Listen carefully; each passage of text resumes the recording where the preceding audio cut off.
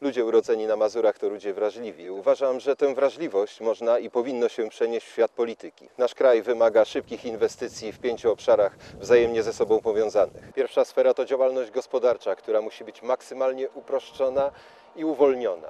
Edukacja jest podstawą rozwoju społecznego i nie można jej zaniedbywać.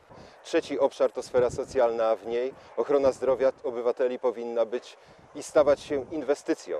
Czwarty obszar to komunikacja. Piąta sfera to sfera bezpieczeństwa energetycznego naszego kraju, oparta o własne źródła energii, o źródła odnawialnej energii. Z dużą przyjemnością udzielam poparcia niepartyjnemu kandydatowi do Senatu Piotrowi Gajewskiemu i o to wsparcie proszę mieszkańców Mazur.